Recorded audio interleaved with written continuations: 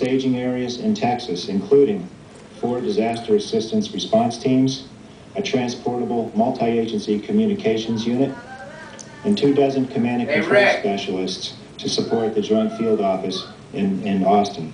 Rick, The Coast Guard cutter Northland has been designated to serve as an offshore command and control platform for post-hurricane response. And there are a total of 21 Coast Guard cutters currently evading the storm and pre-positioning themselves to follow in behind the storm and provide life-saving and other support as needed.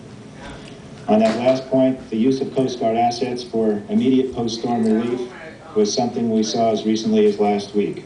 When Hurricane Ike and Hanna devastated Haiti, the Coast Guard cutter Laguerre and Coast Guard aircraft quickly responded and provided more than 35 tons of humanitarian supplies to the residents of Gani, uh, Gonaives who were cut off from the rest of the country by flooding. In addition, we have been authorized to activate 250 reservists for response operations if necessary. These additional people will supplement the capabilities of our locally based forces and our pre-deployed special teams. And finally, as the Secretary mentioned, we are conducting pre-storm flights to protect mariners at sea, advise them to seek safe waters, and also to ensure the safety of offshore oil and gas production facilities. Thank you very much, and look forward to your questions. Admiral Vanderway? So, good to be here with you. Good afternoon. I'm Dr. Craig Vanderwagen. I am the Assistant Secretary for Preparedness and Response at Health and Human Services.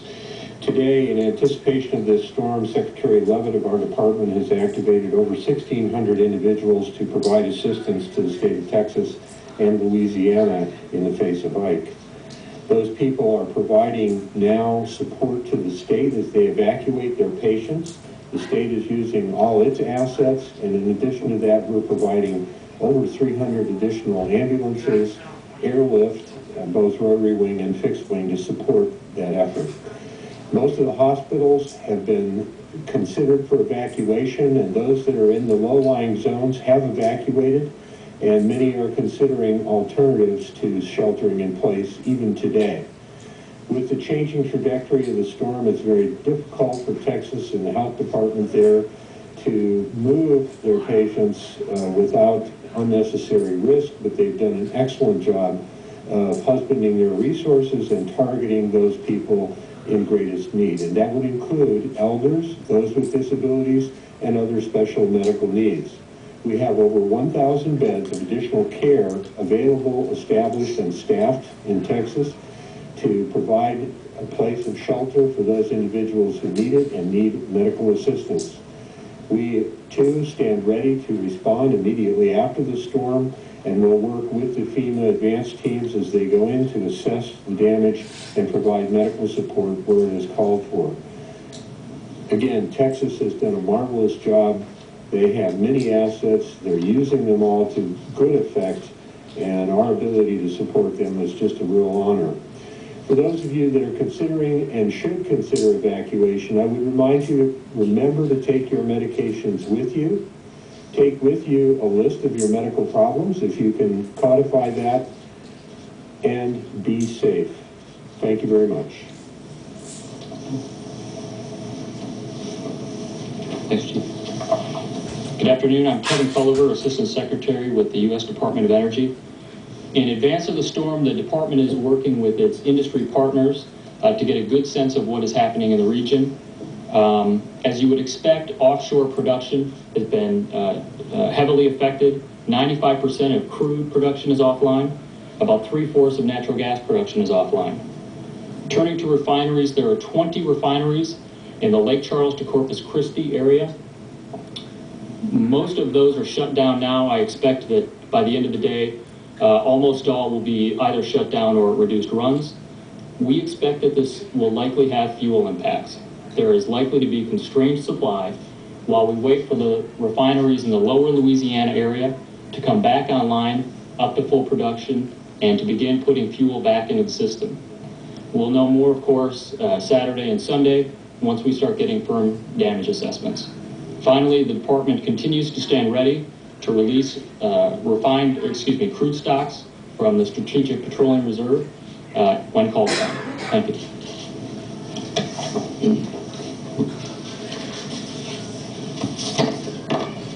Good afternoon, my name is Armond Mascelli, and I'm with Red Cross, American Red Cross Disaster Services. Uh, First, let me say today that the Red Cross joins the nation in remembering those uh, that died in September 11, 2001, in Washington, in New York, and Pennsylvania. Today is on that day, the Red Cross stands with the country. As you've heard from Director Paulison, we are now very focused on preparing for Ike's landfall. Red Cross has been working with its federal, state, local government partners for the past several days to get ready for this. Uh, As with previous storms, um, our focus is on uh, sheltering and, and receiving people as they're evacuated from the, the areas of risk.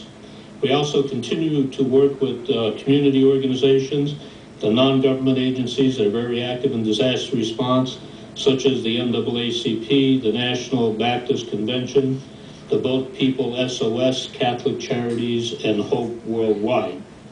We joined FEMA and the state of Texas in urging citizens to listen to local authorities to heed evacuation orders. We've learned again from Gustav that it takes all of us, government, the Red Cross, uh, private sector partners and other agencies, and particularly informed citizens to ensure safe evacuations. Citizens are urged to stay informed, to have an evacuation plan, and to assemble uh, enough supplies to weather the storm. Uh, for this storm, uh, our disaster leadership team is in place in Texas.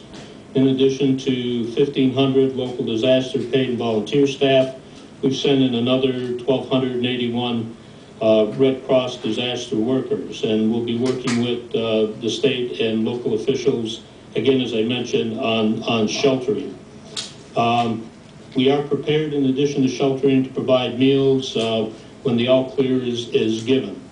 As the storm moves through, uh, through the area, uh, we'll be ready with a variety of services, as I mentioned, health and mental health services, but also a very important service uh, to help people stay in touch with one another.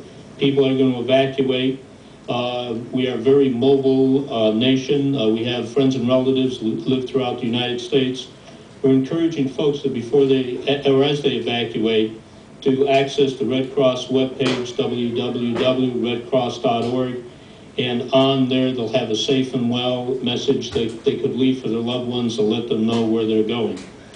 Uh, all of this uh, is happening while we continue to respond to uh, Hurricane Gustav in Louisiana and other small disasters across the country.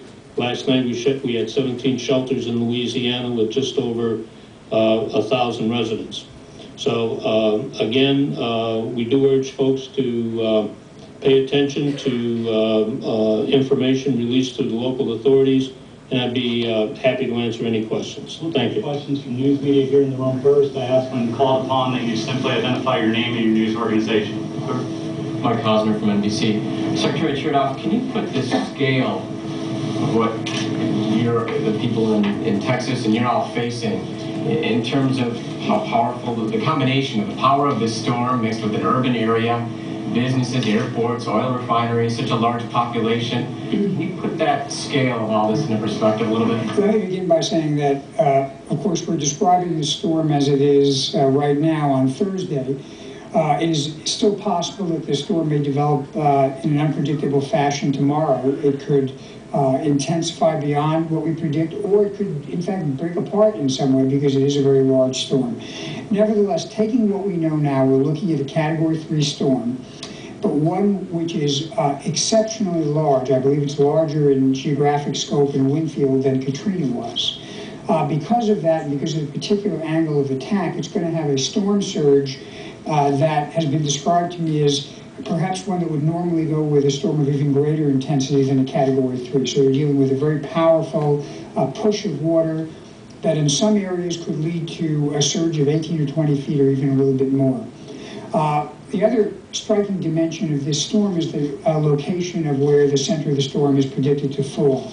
Uh, one of the nightmare scenarios in the world of uh, hurricane watching is a hurricane hitting uh, up the Houston ship channel going through Galveston Bay. And we have one that's coming pretty close to what that nightmare is. It's going to be somewhat south of that. Uh, that means you're going to get a very powerful push of water into the